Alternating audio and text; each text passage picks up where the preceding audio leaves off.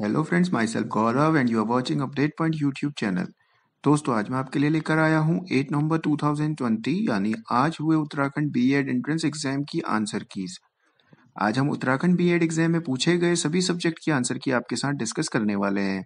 दोस्तों, अगर आपको यह वीडियो पसंद आए तो वीडियो को लाइक करें और आपके जितने भी फ्रेंड्स ने बी एड एंट्रेंस एग्ज़ाम का पेपर दिया है, उन्हें ये वीडियो ज़्यादा से ज़्यादा शेयर करें। तो आइए शुरू करते हैं।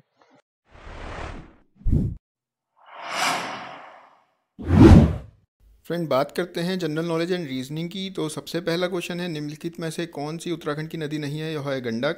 नेक्स्ट है, निम्नलिखित नदी में से कौन गंगा की सहायक नदी नहीं है? यह है Chambal. Question number fifty three है, निम्नलिखित में से कौन सा मंदिर पंचकेदारों में सम्मिलित नहीं है? यह है Bagnath. Question number fifty four है, निम्नलिखित में से कौन मैक्सेसे पुरस्कार से सम्मानित हैं? यह है उत्तराखंड के Chandi Prasad Bhatt. Question number fifty five है, वर्तमान में भारतीय क्रिकेट कंट्रोल बोर्ड बीसीसीआई के अध्यक्ष कौन है?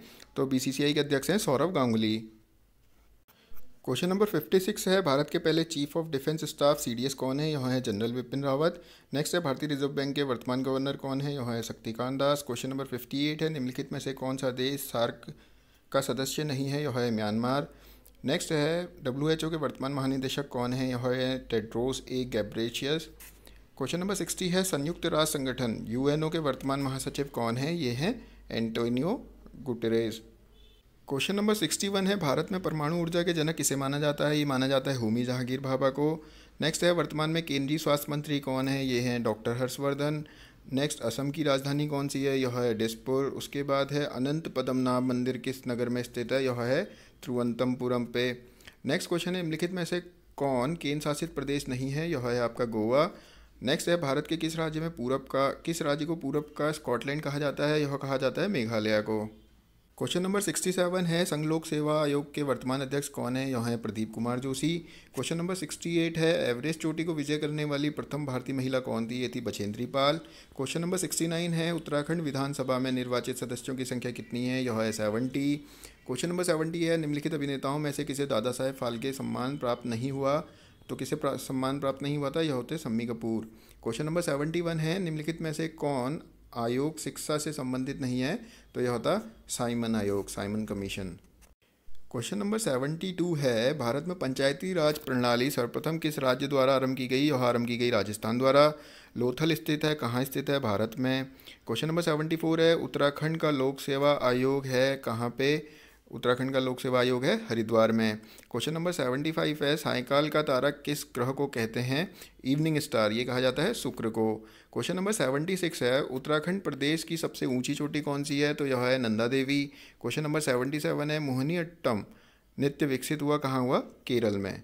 Question option C is the right answer question number seventy eight है ऑपरेशन ब्लैक बोर्ड कार्यक्रम किससे संबंधित है? तो यह संबंधित है प्राथमिक शिक्षा से। क्वेश्चन नंबर सेवेंटी नाइन है, रक्त का थक्का जमाने में कौन सा विटामिन सर्वाधिक सहायक होता है? ये होता है विटामिन के क्वेश्चन नंबर एट्टी है, एक चेक भुगतान की वैधता अवधि है फ्रेंड जो यह क्वेश्चन है, ये आर गाइडलाइन के द्वारा छः महीने से तीन महीने कर दी गई थी, लेकिन इसमें तीन माह तो कहीं ऑप्शन पे दिया ही नहीं है तो यह एक क्वेश्चन है जो अभी डाउट पे है।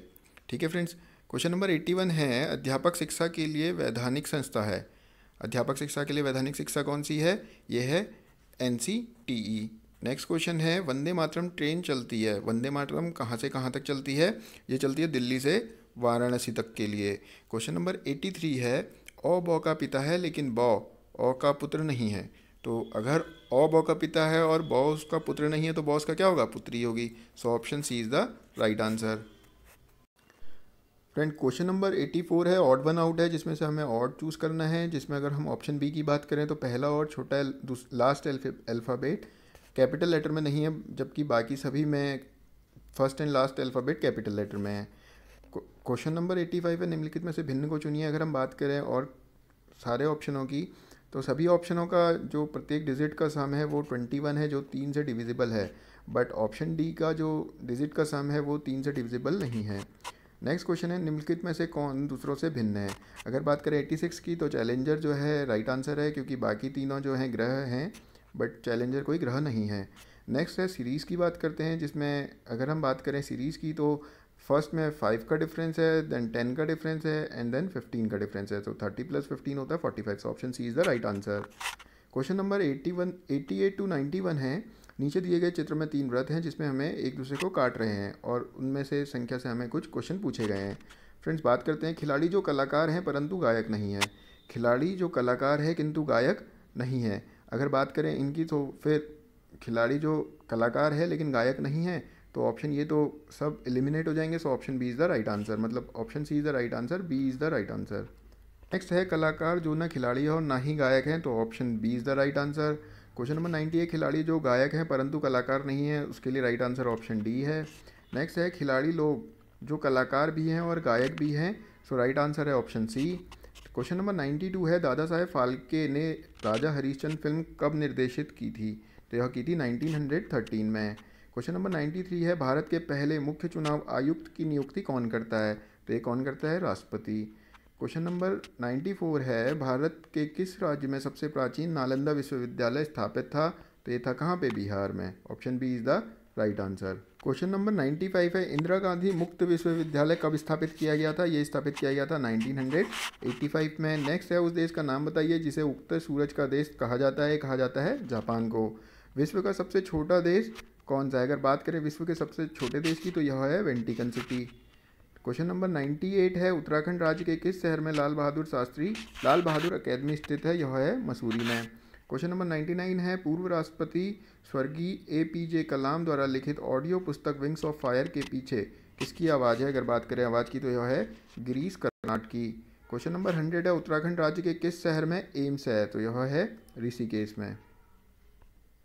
फ्रेंड्स ये आज हुए बीएड के एग्ज़ाम के पेपर का सॉल्यूशन है। बाकी सब्जेक्ट का भी सॉल्यूशन जल्द से जल्द मैं आपको प्रोवाइड कर दूँगा।